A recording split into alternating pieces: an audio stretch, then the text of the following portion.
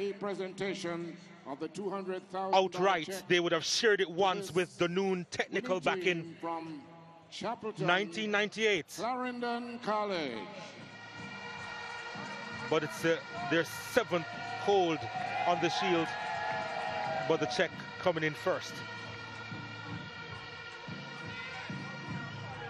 One done. that's, that's Richie Palmer, the manager of this The wonderful bunch of players. They say it's 1cc, and Cornwall College is taking a claim to that. The but right now, first they have played to say for in Clarendon College. 1909 and won then by Jamaica College. The Olivier Shield, presented by Keith Wellington, Andre Roper So, the moment at hand. It has finally Clarendon arrived College. for Clarendon College, Champions, champions of the land. They have won the Olivier Shield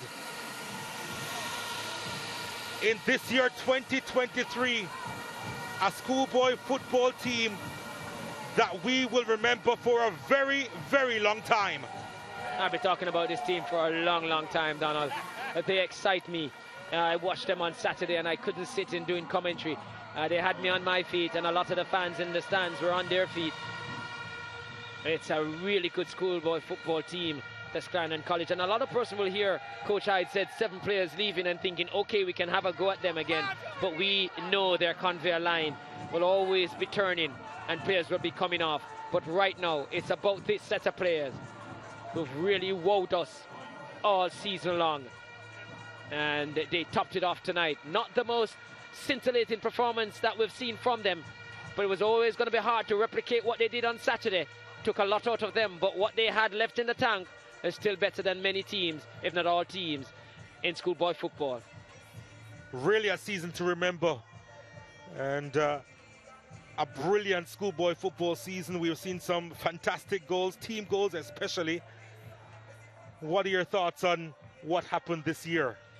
No, it was a great watch. I, I had the, the advantage, well, I had the advantage of being engulfed in it as a coach as well. And it's, it's always fantastic, you know, coming up against different rivals, having the hopes of going on and winning it all. Um, and then to, to have uh, the, the vantage point of sitting here with um, great persons like yourself to, to make the calls and, and see it from a different angle. And from all angles, being engulfed in it and sitting here or even in the stands sometimes as a spectator, I've enjoyed this season. And no praises can be too much for the